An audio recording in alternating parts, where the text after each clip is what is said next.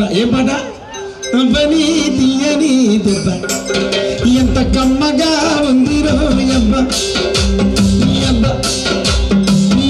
అదే ఇట్లాంటి పాటలు ఎన్నో ఉన్నాను కానీ ఆ బాబు బాబు అట్లా అని చెప్పి దెబ్బ కమ్మ ఉంటుందని మా ఆవిడ ఒక పీకుడు పీకా. దెబ్బ కమ్మ ఉంటుందా? కమ్మ ఉంటుందా? చెప్ప చెల్లు మనింది ఆ, కొంచెం గట్టిగా కొట్టిన పాలు కూడా రాలిపోయావు కానీ అటువంటి పాటలు మనకు రావలే కానీ మనదంతా పల్లెటూరు జానపదం. అందుకే నేను మా ఆమె ఒకనొక సందర్భంలో అంటే ఆమె అక్కడ నేను ఇక్కడ. కలుసుకునేది మాత్రం వంకాయ తొట్లల్లా కందిసేనులల్లా జొలసేనులల్లా గడ్డి అవలక అన్నీ కలుసుకునేది.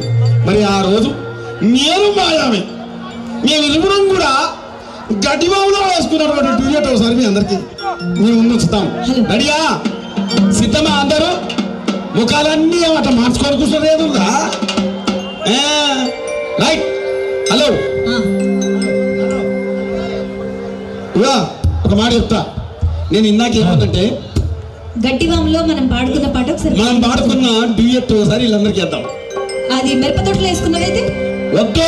ఎందుకు? మిరప తోట అంటే అక్కడ కారం ఉంటుంది. ఓకే అర్థమైందా? అర్థమైంది.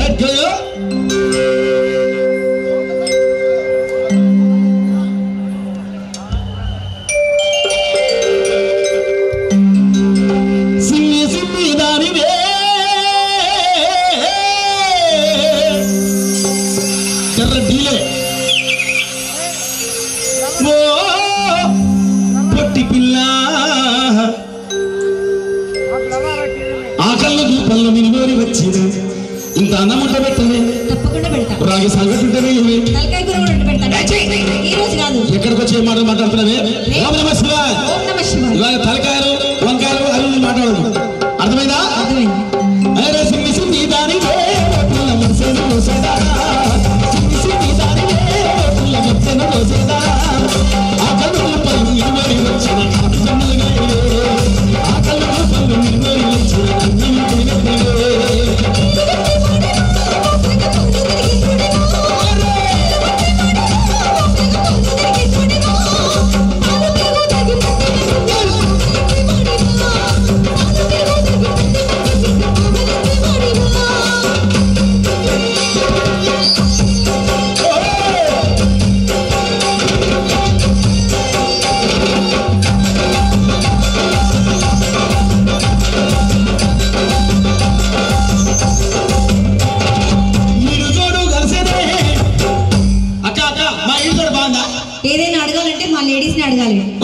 ఎందుకంటే అన్ని నిజాలే మాట్లాడతారు కదా. చూడు బాగుందా?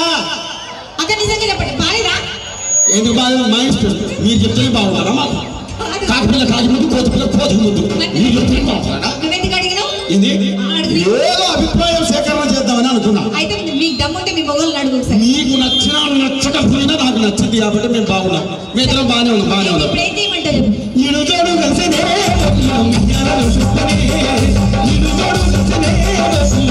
ముత్యాలను చూస్తనే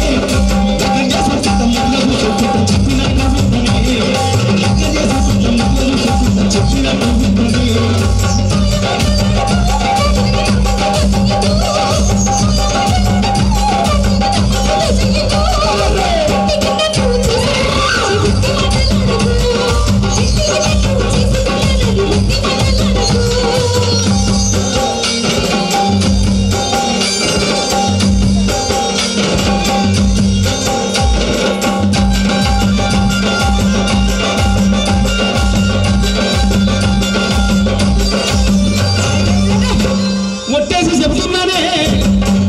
నీ దొంగ ఒట్లేమని ఉంటే మీ మొగోళ్ళ మీద వేసుకో. మా బంగారు తల్లులు మా ఆడపిల్లల మా ఆడపిల్లల మీద మాత్రం అస్సలు వేయద్దు. అట్లా.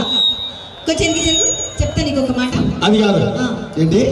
నీ దొంగ ఉంటే మీ మొగోళ్ళ మీద వేసుకో. ధర్మమైన ఒట్టు న్యాయమైన ఒట్టు ఎవరి మీద నువ్వు ధర్మమైన ధర్మమైన మాట చెప్తున్నావు ఇప్పుడు.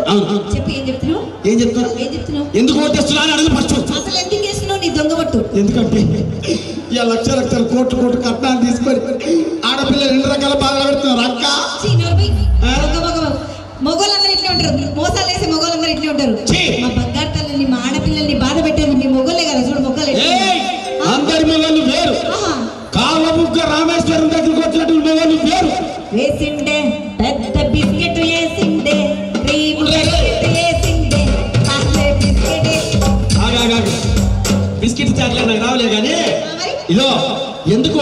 రూపాయలు ఎందుకు వేస్తున్నావు నీ దొంగ ఓటు ఇదో ఒక్క రూపాయి కూడా కట్నం తీసుకోనని కొట్టేస్తారు అబ్బా!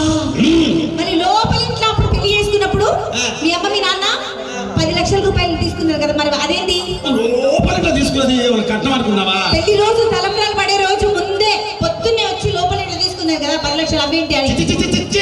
ఒక ఆడదాని సొమ్ము కోసం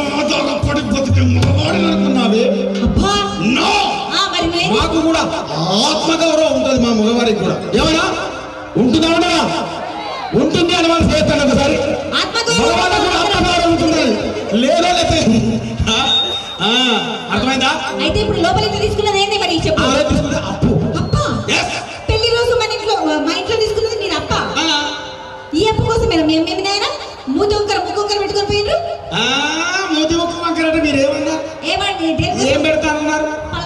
నీ బుల్లెట్ బండికి వచ్చే తప్ప?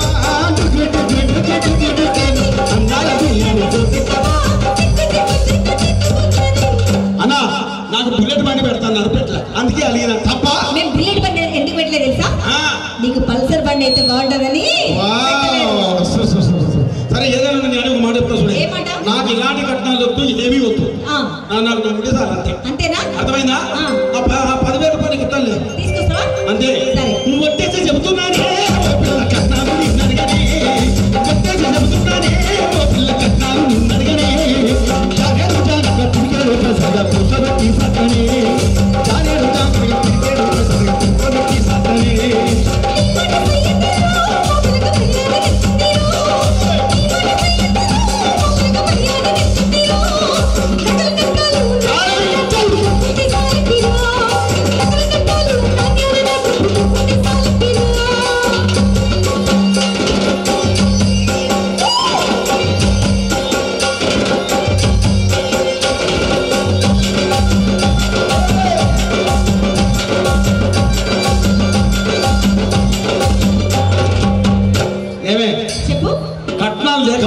ఆ, నిన్ను ఇబ్బంది పెట్టను. ఏం చేస్తావు? నా కళ్ళలో పెట్టుకొని చూసుకుంటా. మళ్ళీ ఒకసారి చెప్పు. నా కళ్ళలో పెట్టుకొని చూసుకుంటా. అందరు అక్కలందరూ విన్నారు కదా? మొగోళ్ళు వింటే మనకు సంబంధం లేదు. నిన్న ఆయన పేరు సంబంధం లేదు. అక్కలందరూ విన్నారు కదా? విన్నారు, విన్నారు. ఒకసారి నా కళ్ళలో పెట్టుకొని చూసుకుంటా అన్నా ఏదో ఒక్కసారి పెట్టుకో అన్నా. ఇట్లాంటి మాట మాట్లాడితే మొదలెత్తా నాకు.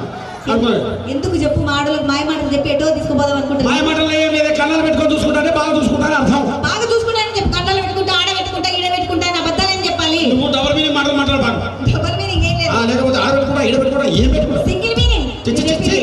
ఒక మాట.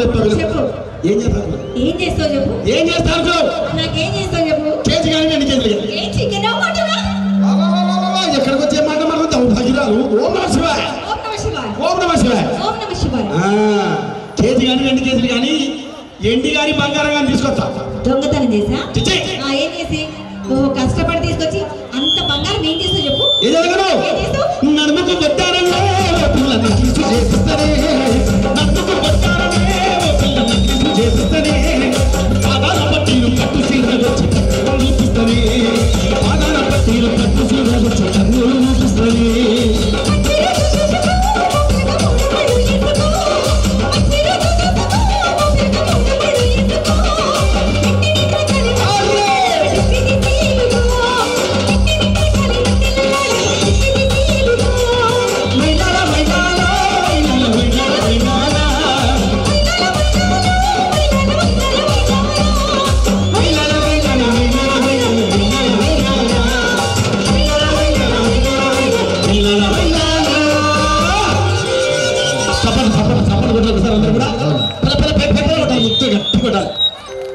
ఎంత కమ్మగా ఓకే ఇట్లా మీరు పడతా ఉంటే మాకు వస్తూనే ఉంటాయి పాటలు.